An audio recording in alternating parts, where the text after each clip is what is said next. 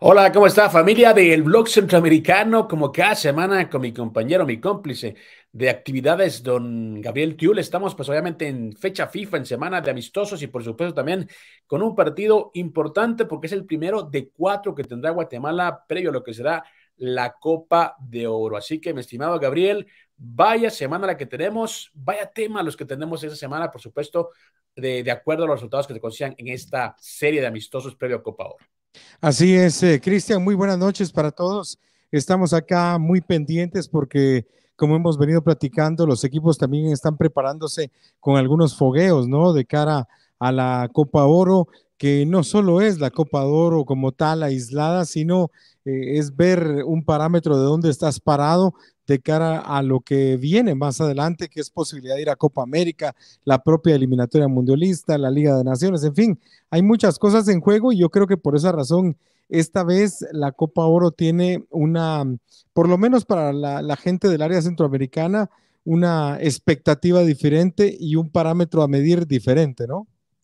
Exactamente, hay mucho que decir. Escuchaba a colegas de México con distintas opiniones, mucha gente le parece poco, no le sabe poco esta misión de Guatemala. Ayer hablaba también con un colega de Fox Sports, Fernando Schwartz, y me decía que él veía, de hecho, que Guatemala tenía más trabajo de base que México porque este equipo no es obviamente el que estará en Liga de Naciones en Copa Oro y por supuesto poco han tenido que hacer eh, de la mano de Diego Coca, así que él decía, bueno, yo creo que Guatemala le puede sacar más provecho a lo que es este partido amistoso, pero bueno, Mazatlán, eh, primera vez que recibe un juego de la selección mexicana de fútbol, los precios me comentaban también subieron, o bueno, o por esta oportunidad, por ser más caros y la gente también estaba protestando, pero ya hablando no del de general, sino hablando específicamente de lo que es la convocatoria de Guatemala, hoy aparecía Matán Peleg, eh, no sé si abriendo una caja de Pandora, no sé si también, como dicen, eh, haciendo ruido en el hormiguero, pero él en redes sociales se desahogaba y decía, momento, momento, yo no es que no pueda ir con la selección,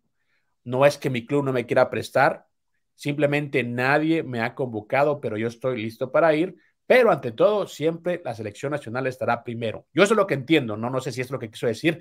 No sé qué lectura le das al mensaje que pone en redes sociales Matán Pele. Mm, sí, yo creo que primero que nada, siendo muy franco, y eso es lo que se quiere, a veces la, federación a través de su departamento de prensa, eh, en donde hay un buen amigo al que yo tengo mucho cariño, que es Alex Argueta, uh, son nebulosos y no son lo suficientemente transparentes en cuanto a dar a conocer qué es lo que está sucediendo, ¿no? Uh, y en ese sentido, eh, sí, leí las declaraciones de Matán Peleg. Mira, para empezar, no es un muchacho fuera de serie, ni cerca, si no estuviera jugando con la selección de Israel tranquilamente, ¿no? Uh, me parece que es un muchacho cumplidor, correlón, eh, creo que por el simple hecho de estar jugando en una selección que compite en Europa, tiene el signo de interrogación como beneficio de la duda, ¿no? Ya vino en el pasado y no es un muchacho fuera de serie. Ahora, con lo que tenemos en Guatemala, yo creo que puede competir puede competir por un puesto. Eh, lo que pasa es que a veces un sector de la prensa, mi querido eh, Cristian, da por sentado que eh, Matán Pelec o Chincota en su momento o Arquímedes, simple y llanamente con el hecho de jugar fuera de nuestras fronteras, ya tienen harta obligación de ser convocados y eso no es cierto. A veces no juegan, a veces no les va bien jugando. Eh, tal vez la única excepción que yo te diría en la que yo estoy de acuerdo se llama Nicolás Hagen y, y se llama así porque no tenemos muchos porteros con las condiciones de él, pero prácticamente a Nicolás lo borraron del mapa los noruegos hace ya cuatro o cinco meses es que no va ni al banco, ¿me entendés? Entonces, pero ¿cuál es la conclusión? Según yo pude traducir gracias a la inteligencia artificial, que Hagen no va a continuar, entonces que no tenía sentido para el HamCam estarlo poniendo de titular domingo a domingo, si no va a continuar, no va a renovar. Tiene mucha lógica, ¿no? Para nosotros nos hace ruido porque mejor que esté chamusqueando aquí en Guatemala y que tenga ritmo y no que esté allá totalmente parado. Pero yo creo que eso es lo que pasa. Entonces, ah, la no llamaron a, pues, pues si no lo llamaron, no lo llamaron, es porque no anda, ¿sí? Eh, como por el otro lado, yo sigo insistiendo que rayos está haciendo el Chucho López en, en la convocatoria, por Dios? Es que no tiene nada que hacer. Te adelantaste un poquito al tema o al, al seguimiento de esta conversación y, y, bueno, yo creo que yo siempre he dicho, no hagas cosas buenas que parezcan malas, ¿no? Siempre el entrenador, el director técnico tiene pues obviamente un librito táctico, tiene una idea de juego y por supuesto llama a los jugadores que supuestamente encajan más dentro de esa idea de juego. El caso de Chucho López es que viene de lesiones, no ha jugado, no tiene equipo. Y uno dirá, bueno, ¿por qué lo están llamando?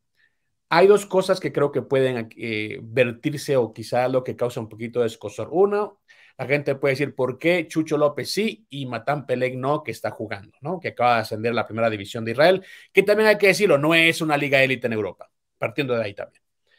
Otra gente dirá, sí, porque es mexicano o de raíces mexicanas lo está protegiendo. Y en descargo a eso, yo creo que también se puede decir, bueno, pero el que lo llamó fue Marini, o sea, él fue el que lo trajo al proceso de selección. Entonces, eh, hay como cosas que creo, que creo debería de preguntársele directamente a Luis Fernando Tena acerca de esas convocatorias y conociendo a los entrenadores cómo se manejan, yo creo que lo que podría decir, lo que podría argumentar es, bueno, tengo una idea de juego, él encaja ahí, por ejemplo, o segundo, lo quiero rescatar porque sirve para mi proyecto, punto. Esas dos razones creo que son las que pueden privar, jugando un poquito al adivino, un poquito al abogado del diablo, pero sí, la verdad que causa pues sorpresa que un jugador que no tiene actividad, un jugador que realmente ha venido de más a menos, porque hay que decirlo de esa manera, pues esté en, la convocatoria y vaya a México también y no esté un jugador que viene en ritmo y que por supuesto viene consiguiendo cosas interesantes en una liga europea como la israelita, que repetimos, no es élite, pero está en Europa, otro ritmo que ya es importante. Sí, eh, por eso decía que, tiene todo el derecho la, gente de pensar que es una posibilidad, que, se le puede convocar, eh, que ya demostró, pues no demostró mayor cosa, de otra manera sería un indiscutible. Es, es, más, la gente está más a la expectativa, si me lo preguntas, de qué va a pasar con, con Herrera, ¿no? Aarón Herrera el jugador que, está ya disponible prácticamente para venir a Guatemala y que más o menos se puede desenvolver en esa, en esa eh, posición como marcador por derecha y que tiene otro tipo de características, ¿no? Es más, te diría que si Aarón pudiera o estuviera disponible, lo hubieran convocado, eh, pero no está para esta ocasión y yo creo que eso es lo más eh, relevante, que paulatinamente se le va abriendo competencia a jugadores como Matán Peleg. En su momento Chincota no tenía competencia y aún estando en la cuarta categoría del fútbol alemán, vino, se ganó un puesto y creo que el tipo cumplió hasta donde pudo. está en proceso Perdón, se nos cruzaba por ahí el switcher. Todavía no, todavía no, don eh, Luis Fernando tiene rato. Vamos a escuchar a Luis Fernando tiene en conferencia de prensa. Sí, lo decía lo de Chincota. Yo creo que eh, yo recuerdo, de hecho, un amigo eh, que vive en Los Ángeles, que a veces también nos, nos, nos, ve, si nos estaba viendo, pues a don Enrique Gutiérrez, un abrazo, un saludo. Él fue a hacer una, una serie de, reportajes a Alemania previo al Mundial de, de, 2006. Y él fue el que encontró a Chincota cuando era pues un jovencito y recuerdo que era papá alemán, mamá guatemalteca, si no estoy mal, era, más o menos la, la, la, la, fórmula. Y yo te soy muy honesto, nunca pensé que fuera a, ir a la selección, porque era, era en ese tiempo era un adolescente, ¿no? Que, que estaba tratando de meterse, creó unas ligas inferiores, algo así era el tema. Pero, pero sí llegó a la selección y se retiró joven también. Yo creo que no encontró la motivación suficiente para mantenerse dentro de esta eh, profesión y ahora, pues yo creo que desde que llegó a Marini y empezó a buscar debajo de las piedras quién podría llegar al, fútbol guatemalteco, lo hizo con Darwin Lom, que también le confía mucho lo de Washelahu, lo hizo con Matán Pelec, lo hizo con Chucho López también. Y ahora, pues también le siguió la huella, pues Luis Fernando Tena, que vamos a escucharlo un poquito más adelante, hablándonos de la situación de Nathaniel Méndez Lane. Pero bueno, eso creo que es más o menos la radiografía que podemos hacer de lo que está pasando en la selección guatemalteca. Pues sí, ahora mismo sí, eh, da gusto que un tipo como Rubio Méndez Rubín haya hecho doblete el fin de semana con el Real Salt Lake, que esté teniendo minutos Arquímedes Ordóñez. Yo creo que todo eso es importante porque no se trata solo de que ah, están en Estados Unidos o están en la, en la Liga Segunda de, de, España. No, no, no. Se trata de que tengan minutos, que tengan roce, que quemen etapas y que cuando lleguen a selección inmediatamente detectes la diferencia en cómo se paran, cómo pelean un balón, cómo centran, cómo le pegan a la bola. Yo creo que esos gestos técnicos son bien importantes que se tengan de manifiesto para una selección nacional. Exactamente. En conferencia de prensa habló Luis Fernando Tena en Mazatlán y tocó el tema de Nathaniel Méndez Lane. Antes les comento que la próxima semana aquí en Las Vegas tendremos pues la final de la Nations League. Está Panamá, está Canadá, Estados Unidos y México. ¿Y por qué menciono esto? Porque nos saluda don Carlos Sandoyas desde Panamá. Un abrazo al pueblo panameño. Ojalá que les vaya bien en esta final de los mejores cuatro de CONCACAF en la liga. Acaban de, salir campeones dos panameños aquí en Guatemala, por cierto. ¿Sí? Eh, Jonathan Morán y el Chepo Calderón. bueno, pues llegan embalados, ¿no? A esta, a esta Liga de Naciones, sacando la cara por Centroamérica o por CONCACAF, ¿no? Que siempre está como luchando contra el poder del norte, ¿no? En este caso, tres selecciones que ya están calificadas a la próxima Copa del Mundo, como son México, Canadá y Estados Unidos. Habló en conferencia de prensa eh, Luis Fernando Tena y esto dijo de Nathaniel Mendelein, que yo por el tono en el que lo dice, creo que sí va a jugar la Copa Oro. Muy avanzado su proceso de, de sacar los, los, papeles, que no es, no es tan complicado porque su mamá nació Guatemala. Entonces, eh, lo más probable es que venga pronto a, Guatemala, vamos a finiquitar el papeleo y es muy probable que juegue con nosotros en la Copa de Oro. Gracias. Bueno, ahí las palabras del, del director en jefe del mero mero en este momento de la selección guatemalteca, Luis Fernando Tena, hablaba pues obviamente ante la prensa mexicana y, y respondía a la interrogante acerca de Nathaniel Méndez Lane que se le ha visto muy, pues en su, en su, rol, ¿no? Ayer veíamos también, compartíamos una imagen de él con la camiseta de Guatemala, que alguien subió en Facebook, en unos diseños muy bonitos que, que hace un chico. Eh, de apellido Álvarez, es muy, muy bueno. muy bueno, muy bueno. Muy bueno, muy bueno. No sé si es, asumo que es ilustrador. No sé si, pues. Sí, pero además es muy creativo, es que no, no es solo de ilustrar, sino es muy creativo. No, no, no, claro, te, te digo, entonces eh, vi sus diseños muy excelentes, la verdad que, que tremendo arte. Y obviamente no se pudo resistir, eh, Nathaniel lo compartió en redes sociales. Y aparte de compartirlo, porque es una, pues una, una, un diseño muy bien hecho, yo creo que también nos dice del compromiso que él tiene ya de jugar con Guatemala. Y eso lo hablamos aquí también y te, lo he dicho. Y mira, no, no quiero hablar con el periódico bajo el brazo, puede que me equivoque, pero creo que ese chico sí le puede dar algo diferente a la selección. Si viene comprometido, si viene obviamente a, aportar lo que puede, lo que hemos visto que puede dar, es un tipo que sí marca diferencia porque es veloz, es alto, es un tipo que juega por afuera, que obviamente son las cosas que, que, adolece la selección. Y cuando uno ve gente como Río Rubín, que empieza a entrar en ritmo, como Arquímedes, que yo también no soy Kimi Lover, pero sí creo que es un tipo que cuando está enrachado puede ser eh, peligroso y además es un tipo que está joven, que, te puede salir para dos eliminatorias, además. Entonces, yo creo que llegando a Nathaniel se puede armar un, bloque ofensivo bastante, bastante curioso. Y si Oscar Sánchez está también a la altura y está enrachado, creo que puede, pues podemos pensar en, que, en tener una ofensiva de respeto, al menos a nivel regional. Sí, sobre todo si se da ya, ¿no? Lo de Mendes Lane, porque si no, si no fuera ahora, este, Nathaniel llegaría con 32, 33 años, ya para qué, ¿no? Pero ahora te digo una cosa también, eh, es un tipo que, dime, que no tiene nada que perder. Ese es que yo, yo siempre le tengo, no miedo, pero sí, eh, siempre le pongo mucho cuidado a la gente, a los atletas que no tienen nada que perder. Es un tipo, como dices, que ya tengo con 32 años. El mundial es en tres años. Tres años y dos, tres años. Pues quiere pegar con 35 años a, jugar un mundial, en la plenitud de condiciones. Lo último que le queda es jugar una Copa del Mundo. Y uno también se pone, se pone en la mente de, de ese chico. Bueno, es la oportunidad que le cayó del cielo de disputar realmente por un boleto una Copa del Mundo. O sea, él dentro de su mente no está jugar con Guatemala, así una selección que está ciento y cuánto en el ranking de FIFA. Es decir, no está México, no está Canadá, no está Estados Unidos, hay más plazas. Es mi oportunidad de jugar una Copa del Mundo. Entonces, yo creo que partiendo de, de, este punto, es un jugador que sí puede aportar y, por supuesto, te digo, tiene condiciones que creo que le hacen falta a este grupo y que sí puede marcar diferencia. Puede que me equivoque, pero te lo estoy diciendo antes de que pase, porque ya la gente después, no, yo lo dije, no, no. Me parece que el tipo sí trae para, para aportar. No lo sé, no lo sé. No he visto ni medio partido completo de él como para sacar conclusiones. Eh, te admiro y, te tengo envidia porque ya viste seguramente mucho fútbol de él. Yo no he visto ni medio tiempo como para sacar conclusiones de, de Nathaniel. Primero, lo primero, Cristian, que, que los papeles estén en orden y luego platicamos, ¿verdad? Bueno, ya, lo decía también eh, Luis Fernando Tena, eh, que bueno, que es adelantado, que obviamente la mamá es guatemalteca y por eso yo creo que no es lo mismo naturalizar a alguien que es extranjero y que vive en Guatemala a alguien que tiene pues obviamente un ligamen directo con el país. O sea, te digo, no soy abogado, eh, obviamente. No, no, no, lo entiendo, lo entiendo.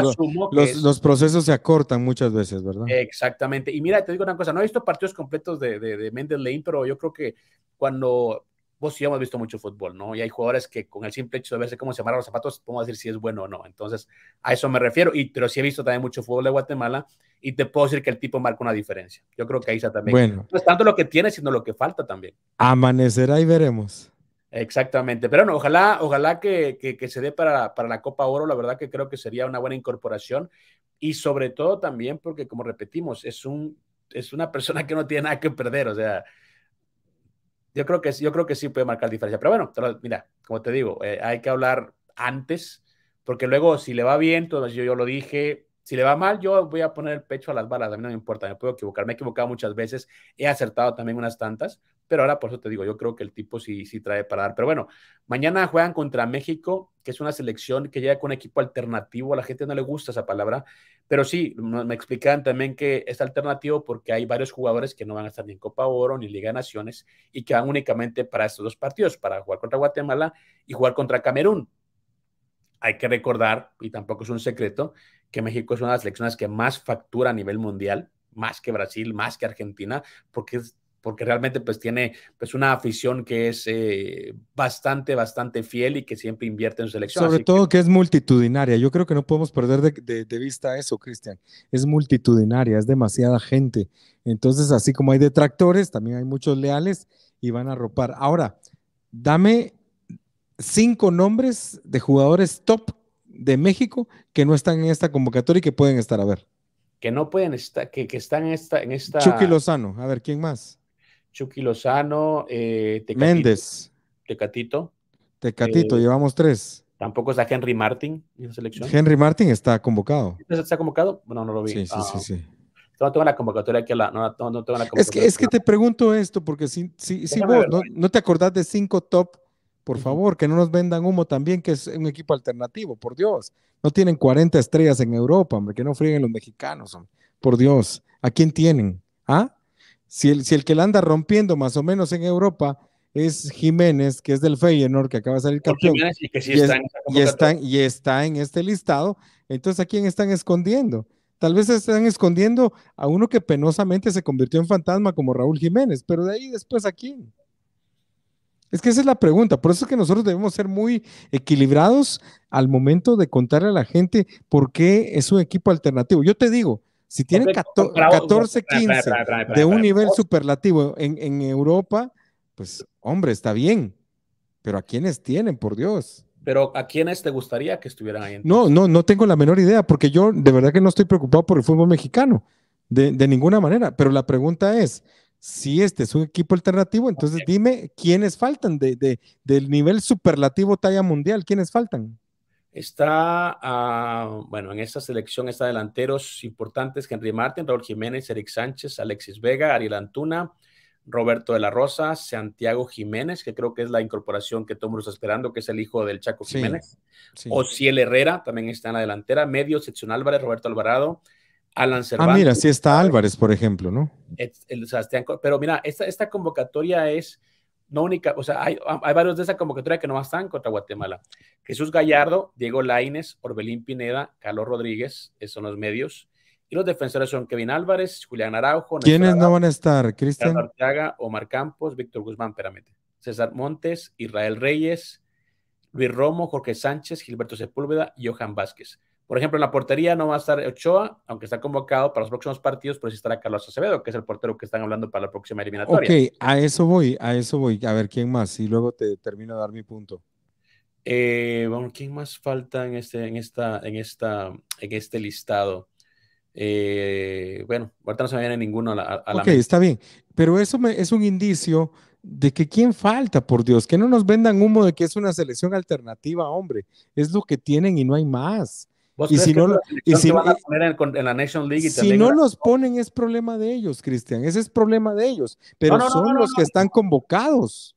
Es que a eso me refiero. El punto, Gabriel, el punto es ¿Qué, ¿qué, selección vamos a ver contra Guatemala? A eso, a eso me refiero. Es Por eso te digo, es una decisión de Coca, es una decisión de Coca, pero si dieron el listado y dijeron que era para jugar los amistosos contra Guatemala, Laines juega en, la, esta, este, este partido y contra Camerún, pero no va a Copa Oro ni tampoco va a. Ok, pero digamos, ¿dónde los utilice después México? Es asunto de México. Ellos ah, dieron, ellos dieron un listado contra Guatemala y ese es mi punto. Si diste un listado es porque si los usas o no, es lo mejor que tienes ahora mismo, ¿ah? Ahora vos crees que este partido a quién le conviene más entonces, a Guatemala o a México?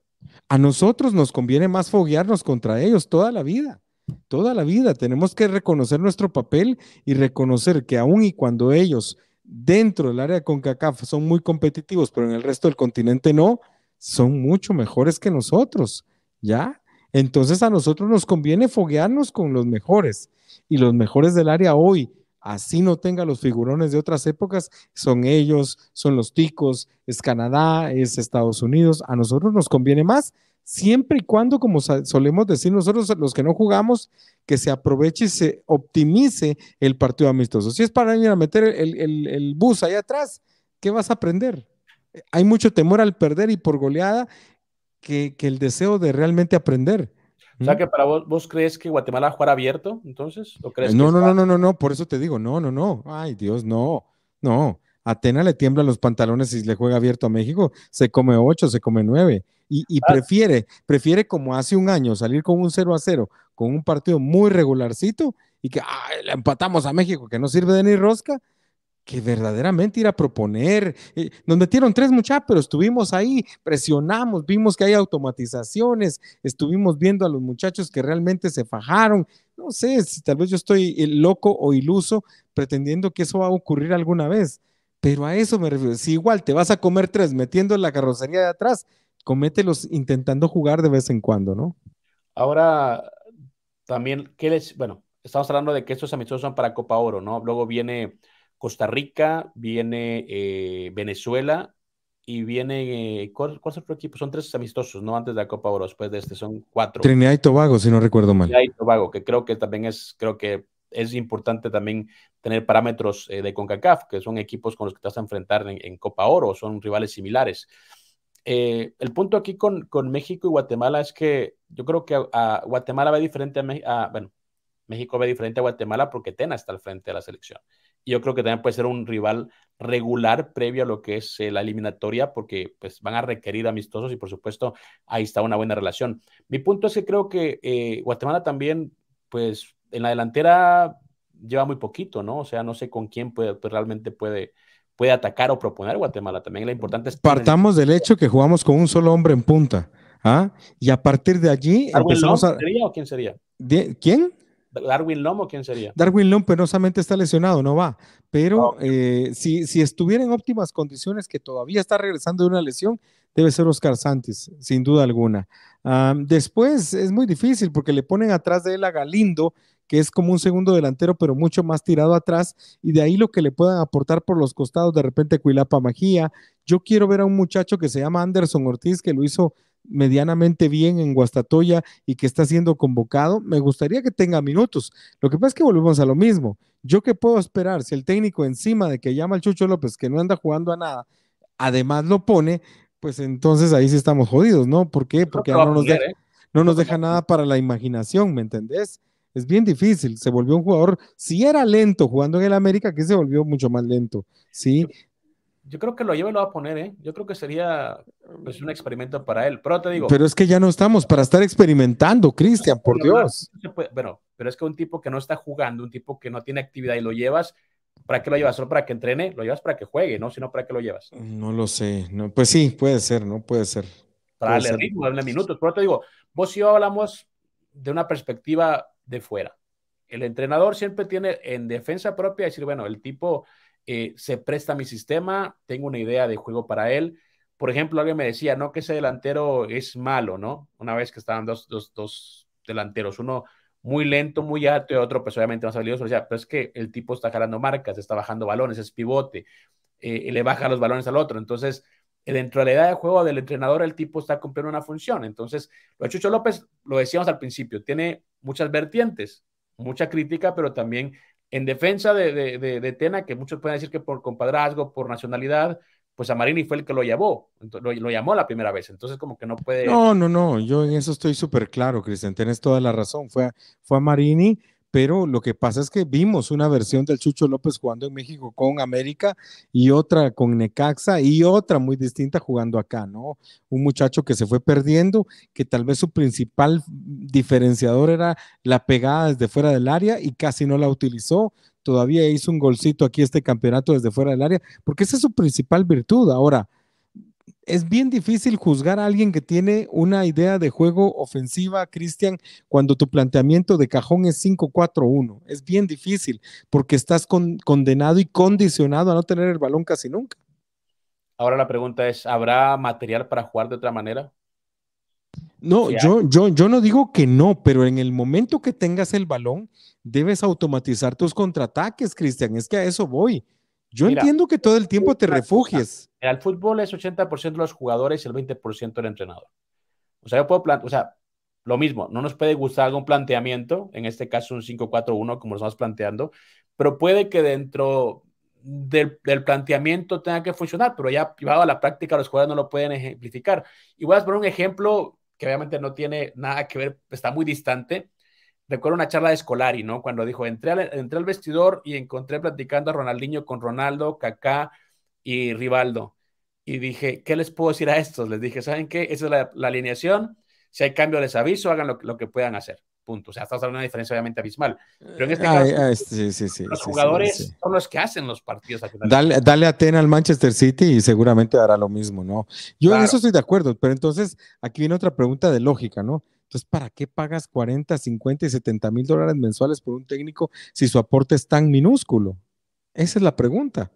¿Ah? Pero el, dinero es, el dinero es problema eh, realmente. No, es que sea problema. Lo que, pasa, lo que pasa es que socialmente no está bien visto en Guatemala, como muchas partes del mundo. Cristian, no está bien visto. Es que para eso quédate con un nacional. entonces quédate con un nacional, dale 20 mil dólares y chao, pues ya. Entonces, no, mira, ok, vamos, vamos a lo mismo, eh, Gabriel. Y vos y yo vivimos esa época, así que podemos hablar, pues estamos hablando entre coyotes de la misma loma, ¿no? Tuvimos a Bilardo que también ganaba un dineral. Tuvimos a Brindisi que ganaba lo que. Pero Bilardo jamás dirigió en Guatemala. Él trajo un, carga, un cargabates con mucho respeto porque ya murió. No, bueno, mira, lo de Bilardo, yo realmente le vi cosas importantes como la ENAF. ¿Qué pasó? No habían entrenadores suficientes capacitados para poder llevar ese proyecto. O sea, el tipo yo, siempre he dicho, uno es como cualquier profesional. Vos pones tus condiciones y la gente las acepta o no. Él era el asesor del proceso de elecciones y por supuesto no tenía por qué estar en Guatemala todo el tiempo. Uno estando allá lo veía de esa manera, pero ya cuando sale no, pues el tipo... Lo que pasa es que, claro, eso nos vendieron. Entre la poca transparencia de Roberto Arzú, que nunca la tuvo realmente, eh, eso fue lo que nos vendió. Y te digo, Luján Manera, eh, eh, ¿quién era el otro? Estaba Luján Manera y había otra persona, no me acuerdo quién era el otro entrenador que estaba al frente el equipo me gustaba, ese equipo jugaba bien, ese equipo tenía una idea de juego. Se corta durante el proceso, mandan a Mincho Monterroso, es un retroceso. Hablando de nacionales que dice que le den 20 mil dólares, ¿no? O sea, ya Sí, pero, pero, pero te parece que volvemos a lo mismo. Pero volvemos a lo mismo. Y no, dinero, si te va a atrasar. No, no, no, sí, pero yo creo que está siendo muy drástico, digamos. Yo a Micho le tengo mucho cariño, en su momento fuimos colegas, fuimos compañeros. ahora termino, ¿sí? Eh, eh, este, fuimos compañeros en Emisoras Unidas, es un tipazazazo. Yo y nadie más le pidió tres veces la renuncia en San Pedro, en Tegucigalpa, nadie más. Te, te, lo pongo en contexto para que veas la importancia que, respetes tu profesión y que seas congruente con lo que decimos aquí o lo decimos allá. Fui el único que le preguntó tres veces si iba a renunciar en Tegucigalpa. Correcto, yo, yo estaba ahí.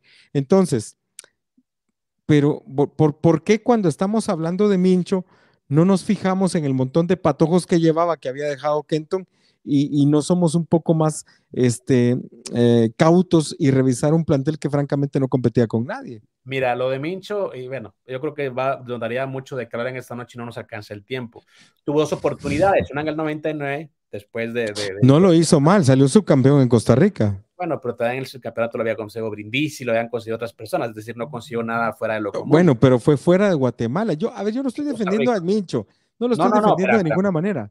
Lo que pasa es de proceso, que... Luego en su proceso llevó, un, llevó a Edwin Alonso, que él, porque lo es. La viejita lo sacó de, del Cejusa. Llevó a otro Gustavo López que, el tipo parecía modelo de televisión, no se estaba enamorado de él, pero lo llevó. En el 2009 hubo bronca, hasta el Pescado Ruiz y el Pando Ramírez tuvieron bronca con él porque habían cosas internas que no gustaban al grupo. Entonces, si vamos a cosas nacionales, yo creo que también hay pecados importantes. Obviamente, si vamos a pegarle, hay que pegarle sí, sí, No, no, estoy, estoy, de acuerdo. Vas a pagar menos. Estoy de acuerdo. ¿Qué hizo? O sea, ¿qué hizo? Eh, hace poco lo sacaron de la sección femenina también por problemas internos junto a Es que eso no está en discusión. Yo no estoy diciendo cosas distintas, muy distintas a las que estás eh, eh, eh, mencionando, ¿sí? Pero yo creo que Mincho, cuando tuvo un plantel competitivo en Centroamérica, compitió. Cuando ya no lo tuvo, simplemente no compitió. ¿Me explico? Mira, en el 99, cuando lo sacan. En el 99, no jodas, en el 99 tenías a Machón, tenías a Rodas, tenías al Pando, tenías al Pescado, tenías al Coyote, o sea, por favor, o sea, tenías un equipo competitivo. Le ganaste a Honduras 2 a 0. La derrota, y recuerdo que hicieron una copa, una copa en, en, Guatemala, le llevaron a Paraguay, Bolivia y Jamaica y perdieron tres partidos, recuerdo. Luego fue la Copa de Naciones, eh, se quedó subcampeón a última hora porque eh, le gana a Honduras 2 a 0 en el último partido. Y luego también la gota que ramó el vaso fue cuando pierde contra Panamá, que Panamá fue cuando empezó a crecer a nivel regional en el 2000. Recuerdo un 2 a 0 en Ciudad de Panamá, ya no lo dejaron regresar. Y me recuerdo que en ese momento yo hablé con Carlos Miló, que él me dijo, ya me hablaron. Entonces, ese tiempo estábamos en el extinto diario al día, me acuerdo, también sacamos al principio que Milok ya estaba palabrado cuando llegó Mincho. Dime qué hizo Milok, por Dios. Milok tampoco pasó nada con él. Dime, dime que, salvo el Pocho Cortés, que es el único tipo que ganó algo hace 22 años en Honduras, que han hecho los demás, por Dios, es que ¿qué han hecho? Eh, si vamos al casi, casi, porque el otro día dijiste que era el peor entrenador que había llegado a Guatemala, hablando del primitivo Maradiaga, Maradiaga sí. pero, es el, el, que más cerca nos, nos, nos llevó.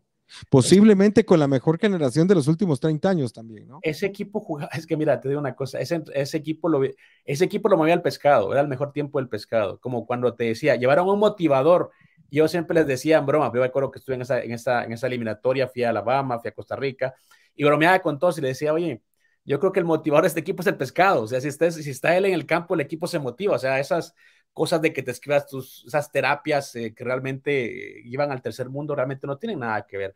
Pero Maradiaga, Maradiaga realmente, te digo, es un muy mal entrenador, pero era el tipo buena gente. Pero, pero basado en qué? ¿Basado en qué? ¿Qué cosa? ¿Basado en qué es mal entrenador el Primi? Pero mira, lo eliminó o, se quedó eliminado. No, no, no, no. no. Eh, yo no estoy preguntando cuándo lo eliminaron. estás preguntando, me te estoy respondiendo. Tuvo la mejor generación de, de, de, Honduras, quizá una de las mejores generaciones de Honduras. Estuvo a dos partidos de calificar al Mundial y pierde con Trinidad y Tobago en casa Pierde 1 a 0 con ocho pelotas a los tubos. Pero perdió. Pero, pero, lo que pasa es que también todo el entorno, y eso fue un escándalo también en Honduras, el tipo no manejaba el vestidor, no tenía, no tenía disciplina, nadie lo respetaba. O sea, él estaba ahí, era un adorno. Con Guatemala fue lo mismo. Y pasó exactamente lo mismo. O sea, dices que, que no es un buen entrenador, pero no porque no sepa de fútbol, sino porque no sabe gestionar grupos. Bueno, es que, es que saber de fútbol, cualquier, bueno, mucha gente sabe de fútbol, pero como decía, ah, sí, pero ejecutar tampoco no es tan fácil. Eso no se, eso no se, eso no se traspasa, no se transpora. Para ser un buen entrenador tienes que manejar el vestidor en primer lugar, tienes que dar autoridad, saber de fútbol, punto. Y al final de cuentas los que van los equipos son los jugadores. Y Maradiaga no puede gestionar un vestidor. O, bueno, para vos si es un buen entrenador, decime bajo qué conceptos es un buen entrenador, si quieres cambiar la pregunta. Pues yo justamente porque pues, supo potencializar lo que teníamos por eso. Supo potencializarlo, le sacó lo mejor a cada uno. Eh, eh, no sé si estuviste eh, en las concentraciones, pero como haya sido, le sacó lo mejor a Dennis Chen, le sacó lo mejor a Martínez Morales, le sacó lo mejor al Pando. Es decir, yo creo que sí le sacó lo mejor. Y si para sacarle lo mejor a veces tienes que entrar en esa complicidad con los jugadores, pues finalmente de eso se trata, son los que te dan de comer, ¿no? Bueno, por eso te decía que ese equipo lo armaron los jugadores, no Maradiaga. Y luego va El Salvador ya también, pues ya más quemado que, que, que cuete de feria y ya le fue también mal. El único entrenador en Centroamérica que ha eliminado a tres selecciones diferentes en, una en eliminatorias mundialistas. Entonces, por eso digo que bajo los números, para mí Maradiaga no es su buen Alguna vez hablaremos de Horacio Cordero y me dirás también. Luis Ruiz dice, mal entrenador comparado con qué amigo o con quién lo está comparando. Claro, claro. No, pues estamos diciendo que es un mal entrenador por sus resultados. O sea, estamos, no, estás. No estoy diciendo, no estoy diciendo que es mejor o peor que alguien, estoy diciendo que es un mal entrenador. Sí, pero yo creo que la gente tiene razón en preguntarte comparado con qué. ¿Y por qué lo tengo que comparar con alguien? O sea, comparado con sus resultados, con su realidad. ¿Con qué lo voy a comparar? Pasa es que, lo que pasa es que te sirve mucho, ¿no? Luis Enrique es mal entrenador, sí. ¿Comparado con quién? Con Guardiola, por ejemplo, ¿no? No, no, no, no, no. No, es un ejemplo, es un ejemplo. es un ejemplo, es un ejemplo. Lo que la gente quiere oír muchas veces es eso, ¿no? No, solo te, estoy, solo te estoy poniendo un ejemplo. la gente quiere oír. no, por eso dije, es un ejemplo y es un ejemplo, nada más, es hipotético, nada más. No estoy diciendo que así sea. ¿sí? No, por eso te digo, pero o sea, vamos a decir que es peor que quién o comparado con quién no, es comparado con sus resultados. Al final los entrenadores son hijos de los resultados. Si no consigues y fracasas constantemente, es un mal entrenador. Obviamente, te digo, en Centroamérica o en Guatemala específicamente. eso que acabas de decir es muy, muy bueno, ¿sabes por qué? Porque a Marini entonces es un mal entrenador porque los resultados así lo condicionaron con Guatemala. No, el tipo es, un, tres veces campeón de liga. No, no, no, pero, pero escucha la pregunta que te estoy haciendo. ¿Es un mal entrenador porque no triunfó con Guatemala, con la selección? ¿Quién? ¿A Marini? Sí. Es que si lo pues que vamos a lo mismo, comparado con. Entonces, entonces, entonces. No, no, no, Yo te estoy haciendo una pregunta legítima. No, no, yo te estoy respondiendo, es que es yo, yo porque yo no te he hablado, yo no te he hablado de, del primitivo Maradiaga en su paso por el Vida, por el Olimpia, por el Municipal, no. Estás hablando de. El de, tampoco fue campeón. Eh, por eso. Entonces, yo te, yo te acepto lo que me estás diciendo. El primer era mal entrenador por los resultados que lo condicionaron en selecciones. Entonces, la pregunta es: ¿A Marini es un mal entrenador? ¿Por los resultados que obtuvo en selección? No, no, para nada. ¿Por qué no? ¿Por qué él, él no y el primitivo sí? Ahora te respondo, te respondo con propiedad. Ok, ok, ok, ok. Mira, dos cosas. Uno, a nivel de liga, es el entrenador que más títulos tiene. No estamos hablando de liga. Déjame terminar. Es que a nivel general estamos hablando. Y con selección sus números no fueron malos. O sea, que no haya calificado es otra cosa, pero los números, si te das cuenta, no eran malos. Empataba, perdían penales, si vamos a números o a rendimiento, el equipo no lo hizo tan mal. Obviamente no se calificó, que era el objetivo. Pero Maradiaga tenía la calificación a dos partidos. Lo hizo con Guatemala y lo hizo con Honduras. ¿Me entiendes? son casos totalmente diferentes. Sí, con sí, generaciones totalmente diferentes. Amarín no tenía el material que tenía Maradiaga. Sí, es que, es que mi punto era ese justamente. mi punto era ese.